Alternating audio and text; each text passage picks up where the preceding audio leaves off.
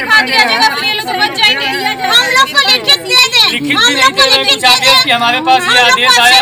अधिकारी से। हम लोग को absent ना करें बोल रहे हैं कि हम अब्सेंट चढ़ा देंगे। एक्शन चढ़ा देंगे।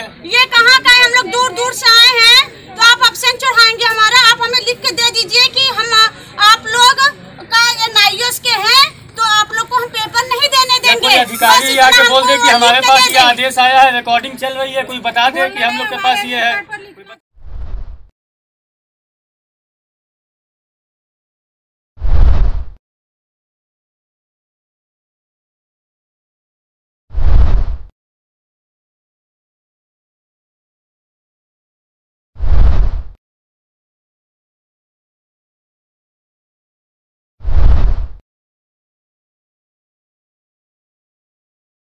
जय हिंद साथियों, बहुत बहुत स्वागत है आपका अपने ही YouTube channel NIS online hub में। तो दोस्तों, इस वीडियो में बात करेंगे एन डी की वैलिडिटी के बारे में।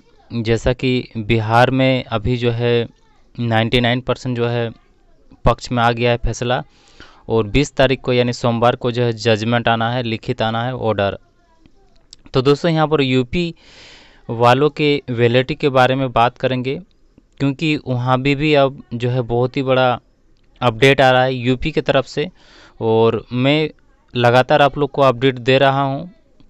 और ये दोस्तों आप लोग के मदद से ही हो पा रहा है। जो भी शिक्षक भेज रहे हैं अपडेट, मैं उसको आप लोग तक पहुँचाने का कोशिश कर रहा हूँ।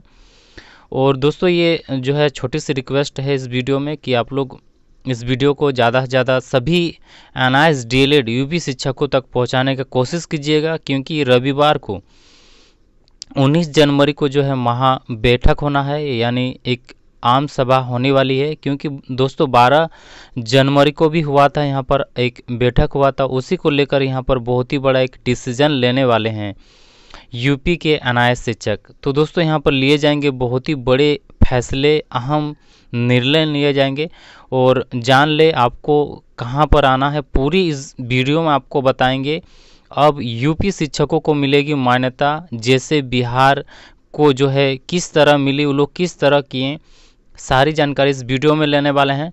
उससे पहले दोस्तों, अगर चैनल पर नए हैं तो छोटी सी रिक्वेस्ट है कि वीडियो को बनाने में जो है बहुत मेहनत लगती है, टाइम लगती है तो वीडियो को आप लाइक कीजिएगा। अगर अच्छी नहीं लगती है, फिर भी आप डिसलाइक कर सकते हैं। और कोई भी क्वायरी रहती है तो आप नीचे में कमेंट करें। मैं सारे कमेंट्स का जो है जवाब देता हूँ और जितने भी क्वायरी है जो है आपको कहाँ आना है, सारा डिस्क्रिप्शन में मिलेगा फ़ोन नंबर सारा डिस्क्रिप्शन में दिया है, आप डिस्क्रिप्शन को ज़रूरी चेक कीजिएगा। तो दोस्तों, पहले जो है आपको 12 तारीख के मीटिंग के कुछ मैं वीडियोस दिखाना चाहता हूँ इस वीडियो चैनल के माध्यम से। और ये दोस्तों, आप लोग की सहायता से ही हो पाती है, जितने भी मैं अपडेट दे पाता हूँ। आप लोग के मदद से ही मैं दे, दे पाता हूँ। ये अनायत शिक्षकों का आवाज़ है ये चैनल। जिस तरह जो बिहार में मैं सारा अपडेट देता रहा और आप लोग के सहायता से इतना बड़ा हो पाया है जैसा कि बिहार में। अगर दोस्तों अब यूपी में मान्यता दिलाने के लिए हमारे चैनल लगातार अब अपडेट दे रहा है यहाँ पर तो दोस्तों इस वीडियो का आप देखें जो 12 तारीख को मीटिंग हुआ था।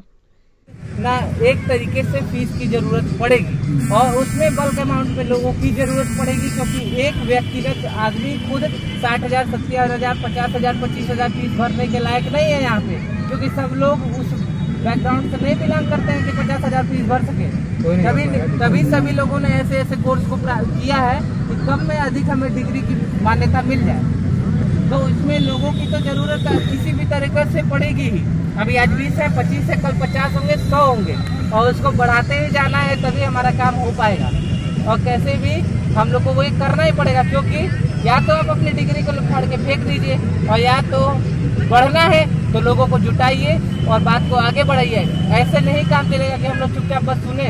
करना पड़ेगा कुछ। करना क्या है कि हम लोग को किसी से झगड़ा, बवाल या कहीं नारेबाजी नहीं करनी है। हाईकोर्ट की तरफ़ जाने का मूड बनाना है। मूड बनाने के लिए लोगों की ज़रूरत है, क्योंकि अगर रिज़ल्ट मिलेगा तो हाईकोर्ट कोर्ट और कोई भी यहाँ पे आदमी नहीं है जो हम लोग को रिज़ल्ट दे सके, क्योंकि डीएम, एसडीएम, उत्तर प्रदेश शासन हमारे खिलाफ है। तभी तो हम लोग को हर जगह से भगाया गया। अब हमको अगर कोई अधिकार दे सकता है हमारा तो वो है हाईकोर्ट। और कोई ऐसी संस्था नहीं है जो आपको आपके अधिकारों के लिए कोई भी कदम उठा सके हाईकोर्ट के अलावा।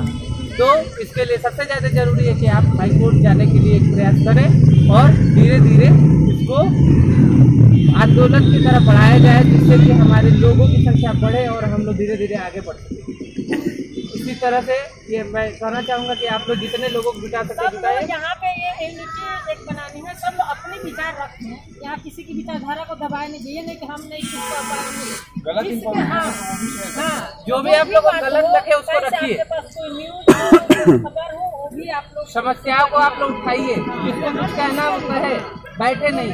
अपनी बात को रखिए। वहीं से जहाँ से भी हो आप अपनी बात उठा सकते हैं कहिए भाई आप लोग की क्या राय? क्योंकि यहाँ सब बराबर है कोई अधिक और छोटा कम नहीं सही बात है।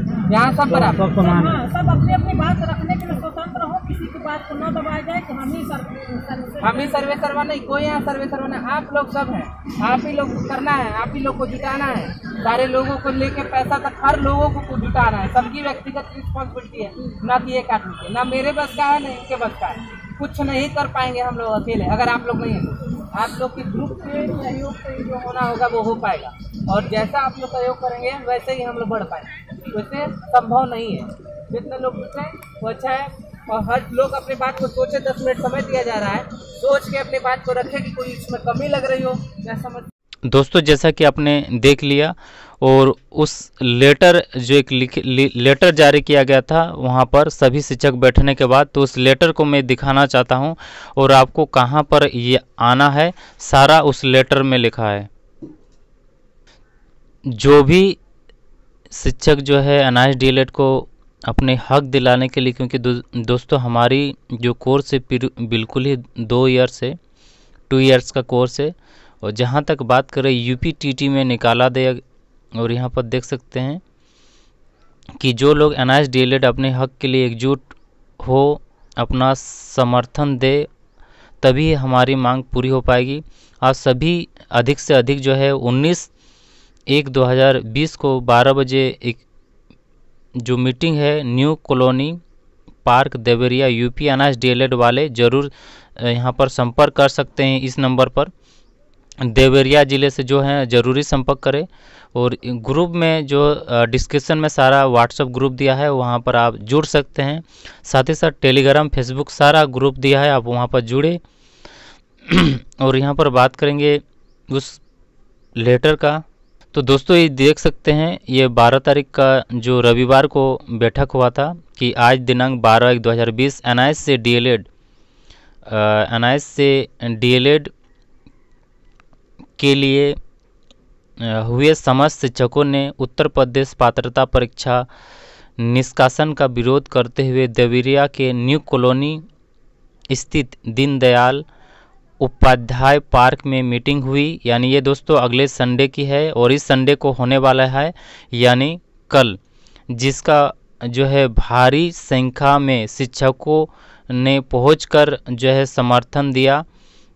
और आगे यहाँ पर देख सकते हैं, मीटिंग में सभी शिक्षकों ने जो है एक एकमत होकर सरकार के अभितकृतों एवं अधिकारियों के अधिकारियों के हनन के विरोध जो है उच्च न्यायालय जाने की योजना बनाई है और जिसमें डीएलएड मीटिंग अध्यक्षता श्रीमती अनीता सिंह यहाँ पर देख सकते हैं, उपाध्यक्ष पीयूष मिश्रा के संबोधित करते हुए शिक्षकों का जो है उत्साह वर्धन किया तथा मीटिंग में शामिल शिक्षकों ने नादरिया इस इस तरह का जो है यहाँ पर उपस्थित थे और यहाँ पर आगे कहना है।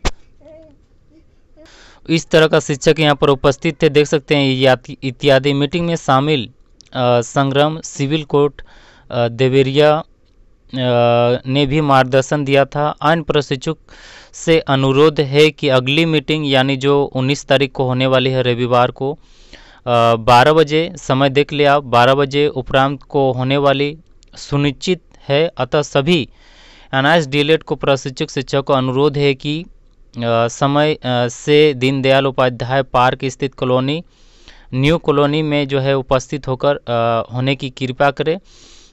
दोस्तों, बहुत ही बड़ी एक अपडेट आ रही है अनायस डीलोड की जो रविवार को एक बैठक रखी गई है। जैसा कि दोस्तों, मैं अपने चैनल के माध्यम से प्रत्येक अपडेट रूबरूब कराता हूँ। जो भी अपडेट आएगा आगे मैं इस चैनल के माध्यम से देता रहूँगा। तो आग्रह है कि दोस्तों, कि आप लोग भारी से भारी संख्या में पहुँचे न्यू कॉलोनी, पार्क देवरिया में। पहुँचे वहाँ पर, भारी से भारी संख्या, जब तक हम लोग एकजुट नहीं हो पाएँगे, तब तक हम लोग मान्यता नहीं ले सकते हैं। जैसे कि बिहार में मान्यता 99 परसेंट मिल गया है और जजमेंट जो आना है सोमवार को आना है, लिखित आना है तो दोस्तों, बहुत ही खुशी की बात होगी कि एक राज्य में मिलेगा तो उसके आधार पर दूसरे राज्य को भी मिल जाएगा। तो दोस्तों, ये था आज का अपडेट। चैनल पर नए हैं तो चैनल को सब्सक्राइब कर लेना, वीडियो को सभी तक शेयर कर देना।